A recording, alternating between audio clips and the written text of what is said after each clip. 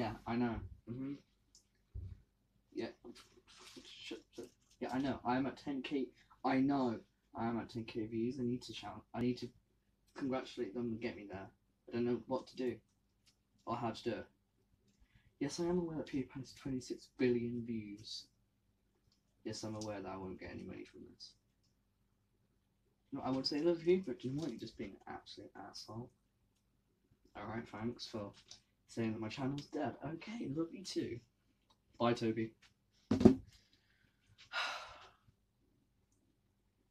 yeah, he's an asshole. We have reached a big 10k. Now, I would do something cool, but I don't have anything planned. So, we've got this, and this is improv lessons number one. Thank you for 10k.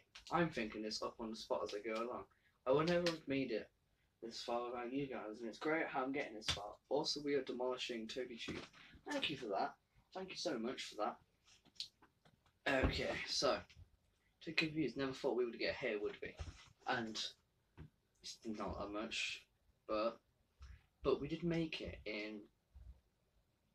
Oh, come on. We made it before August, and I started doing videos in June 28th.